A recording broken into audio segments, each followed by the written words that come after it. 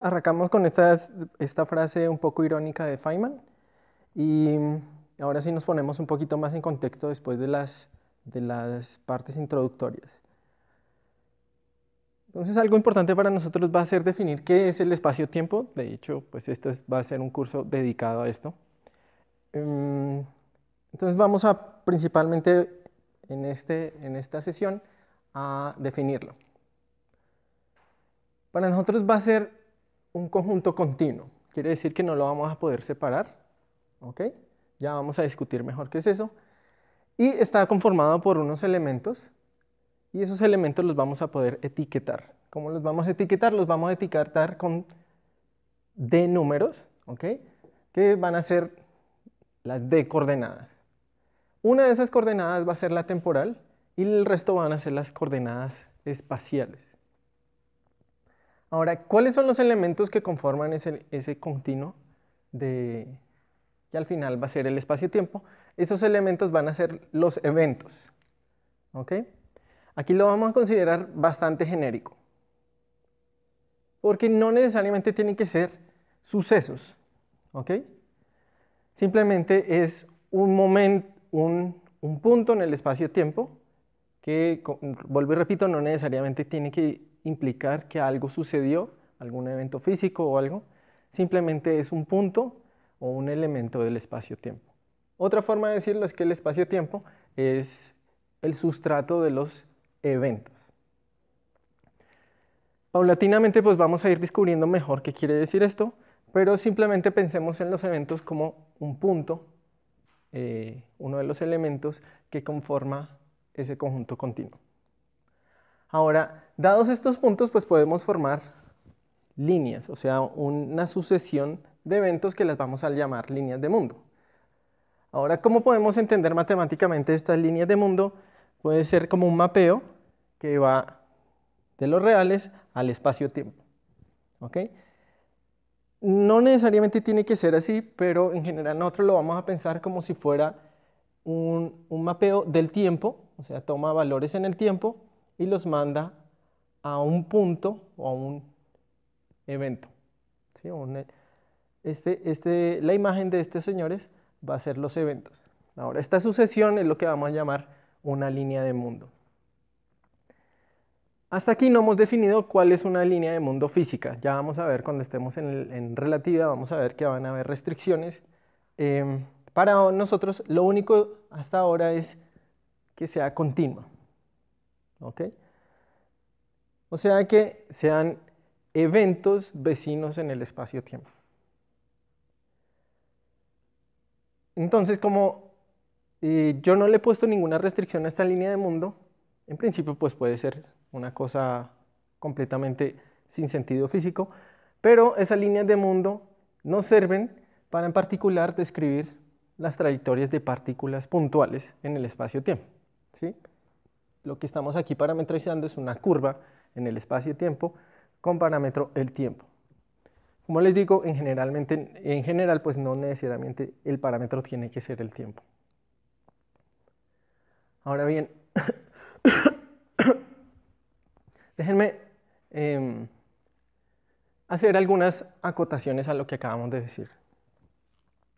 Entonces, nosotros queremos que sea continuo en parte por lo que veíamos en la, introducción de Aristóteles, veíamos que el espacio y el tiempo eran continuos indivisibles.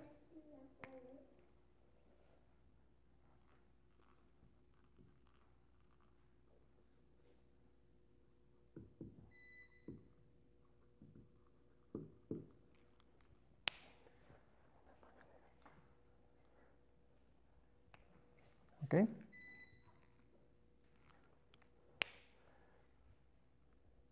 Entonces, como no hay división, yo no puedo, veíamos por ejemplo que eh, yo no pensaba en instantes y tampoco pensaba en puntos, yo no puedo partir el espacio-tiempo en puntos. Y, y, entonces eso lo pensábamos con Aristóteles, pero eso va a ser general, o sea, va a ser un continuo que yo no voy a poder partir en pedacitos. Eso va a ser general general desde Aristóteles hasta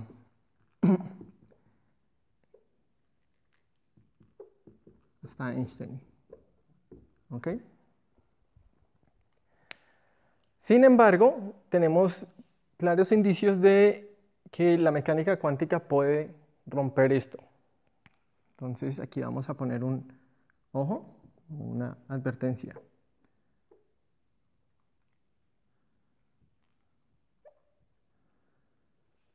Eh, la mecánica cuántica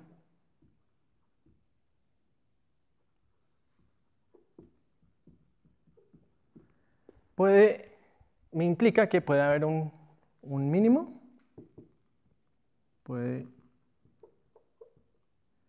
eh, implicar un, un discontinuo.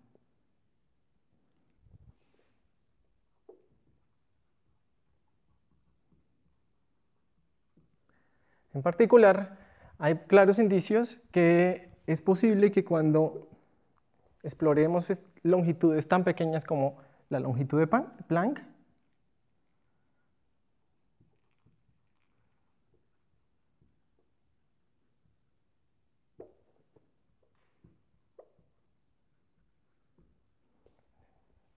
Si exploramos longitudes más pequeñas que la longitud de Planck, entonces el espacio-tiempo deja de ser continuo y puede encontrarse un discreto. Eso, por ejemplo, en la teoría de cuerdas y en la teoría de gravedad cuántica eh, de lazos, esto es uno de los principios fundamentales, que hay una longitud fundamental donde el espacio-tiempo puede empezar a, a presentar discontinuidades. Este continuo ya no es cierto. Entonces aquí lo que yo estoy diciendo es justificando este primer, esta primera consideración, que es el continuo del espacio-tiempo. La segunda acotación es que nosotros vamos a considerar que el espacio-tiempo es suave. Eso quiere decir que en todos los puntos, todos los puntos son, todos los puntos o todos los eventos en el espacio-tiempo tienen, eh, están bien definidos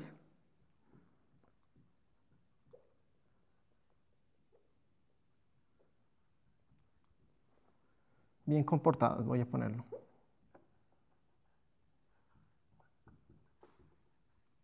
¿En qué sentido? Que no hay, que no hay paradojas, por así decirlo, que está, se puede definir bien qué es lo que va, qué es lo que está sucediendo ahí.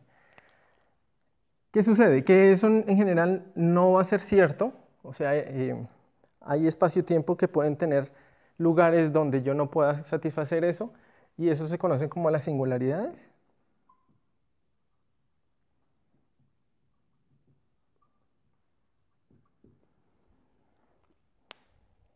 Sabemos que, por ejemplo, en relatividad general, con los trabajos de Penrose y Stephen Hawking, los espacios-tiempos pueden tener singularidades que eh, nos pueden causar problemas. ¿okay? Para nosotros por ahora nos vamos a centrar en espacios-tiempos suaves y vamos a evitar esas singularidades. ¿okay? De hecho, esas singularidades todavía no se entienden, no, se manejan en la teoría eh, de, relatividad general. Tocaría ir a teorías cuánticas para ver si esas singularidades se resuelven y vuelvo a tener un comportamiento suave. Entonces, lo que vamos a trabajar como espacio-tiempo va a ser un espacio-tiempo donde todos los eventos están bien comportados, pero sabemos que hay situaciones donde pueden haber eh, situaciones donde hay cosas raras. Otra vez, esto es general, pero entonces pareciera que ya les hubiera dicho todo lo que es un espacio-tiempo y no necesitáramos ni siquiera un curso para decir cómo son los espacio-tiempos desde Aristóteles hasta Einstein entonces, la pregunta sería, ¿y qué es lo que hace distinto eh, un espacio-tiempo del otro? La distinción, porque si se dan cuenta, esto es completamente general. ¿Cuál es la distinción? La distinción va a estar en la estructura.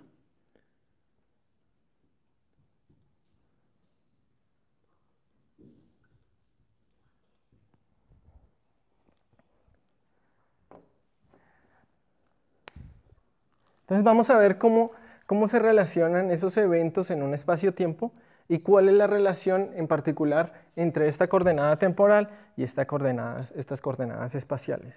Esa estructura va a ser la que va a distinguir los distintos espacio-tiempos y la estructura va a estar dada a partir de las reglas de, de relatividad, por ejemplo, de Galileo y de Einstein, y eso lo vamos a ir construyendo. Entonces, nuestra primera, nuestra primera misión va a ser para la próxima sesión, es utilizar esto para ver cómo, cómo construimos matemáticamente el espacio-tiempo de Aristóteles. ¿ok? Bien, una, tal vez un último comentario es, eh, se estarán preguntando si a alguien se le habrá ocurrido hacer algo distinto de esto, ¿cierto? Porque yo cojo solamente un, una coordenada temporal y no más de una. pongamos esa pregunta aquí.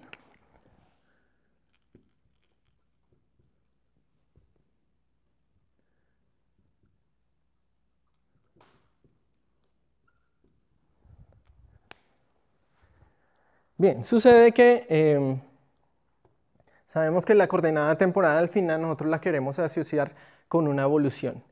Y la evolución hay un, principio fundamental de la, física, la evolución tiene que ser unitaria. Yo espero que yo pueda escribir eh, que la información se conserve.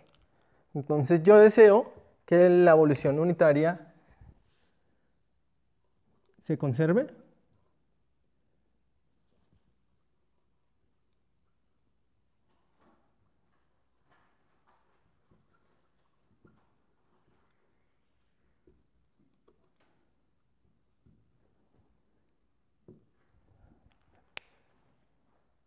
Yo espero que los eventos, o sea, la información que yo posea ahorita de, una, de, un, de un sistema físico se conserve en el tiempo, que yo no pierda información y ese es un principio fundamental de, de la física. Entonces, si yo deseo esto y pongo más de una coordenada temporal, hasta ahora hay, hay intentos infructuosos de, de lograrlo. ¿sí? Entonces, si yo deseo una evolución unitaria, solo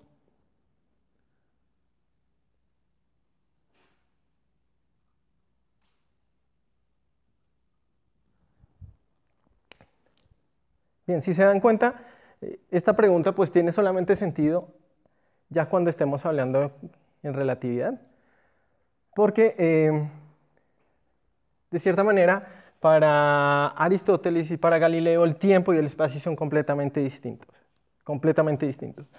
Con, relatividad ya el tiempo y el espacio empiezan a tomar unas propiedades similares y entonces uno estaría tentado a decir, ¿por qué yo no puedo generalizar eso? Ahora, no le estoy respondiendo completamente, pero sí le estoy diciendo que si ustedes tratan de hacer una teoría con más de una coordenada temporal, no es trivial garantizar esto.